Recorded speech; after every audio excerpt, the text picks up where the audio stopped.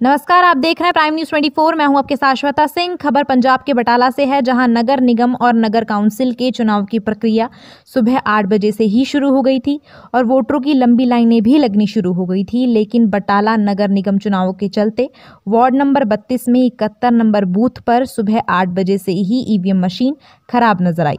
Voter अपने हक के इस्तेमाल का इंतज़ार करते हुए लाइनों में खड़े रहे, लेकिन मशीन खराब होने की वजह से एक भी वोट नहीं डल पाई। वोटरों का इस पर कहना था कि सुबह आठ बजे से वो लाइनों में लगे रहे, लेकिन मशीन खराब होने की वजह से मशीन को भी कोई ठीक करने नहीं पहुँचा। वहीं अधिकारियों ने इस पर सफ़ाई देते हुए कहा कि मशीन खराब है, लेकिन ठीक कर दी जाएगी।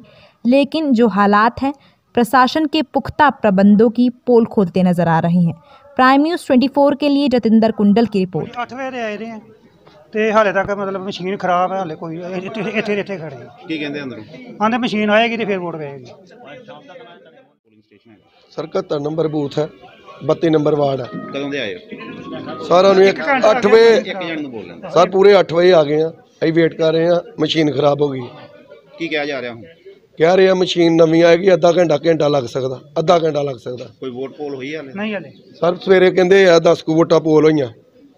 ਉਸ ਤੋਂ ਬਾਅਦ ਕੋਈ ਨਹੀਂ ਹੋਈ। ਉਸ ਤੋਂ ਬਾਅਦ ਕੋਈ ਨਹੀਂ ਹੋਈ। 10 ਵੋਟਾਂ ਪੋਲ ਹੋਈਆਂ। ਕੀ ਨਾਮ ਹੈ ਜੀ ਆਪਣਾ? ਮੇਰਾ ਕਾਲਜ ਸੁਣਾ ਜੀ। ਕੀ ਡਿਊਟੀ ਤੁਹਾਡੀ ਇੱਥੇ? ਮੇਰੀ ਏਪੀਆਰ ਦੀ ਹੈ ਤੇ ਕੀ ਚੱਕਰ ਕੀ ਹੈ ਹਾਲੇ ਤੱਕ? ਇਹ ਮਸ਼ੀਨ ਜਿਹੜੀ ਖਰਾਬ ਹੋਈ ਹੈ ਤੋ ਫੋਨ ਕੀਤਾ ਉਹ ਆ ਰਹੇ ਨੇ ਜਿੰਨਰ ਆਇਆ ਉਹਨਾਂ ਦਾ ਉਹ ਠੀਕ ਕਰ ਰਹੇ ਨੇ। ਕਿੰਨਾ ਕੁ ਸਮਾਂ ਹੋ ਗਿਆ ਖਰਾਬ? ਤੈਨੂੰ ਸਵੇਰ ਦੇ 8 ਵਜੇ ਦੀ ਖਰਾਬ ਹੈ ਹਾਲੇ ਤੱਕ ਕੋਈ ਵੋਟ ਪੋਲ ਨਹੀਂ ਹੋਈ? ਨਹੀਂ ਪਹਿਲੀ ਵੋਟ ਤੋਂ ਖਰਾਬ ਹੋ ਗਈ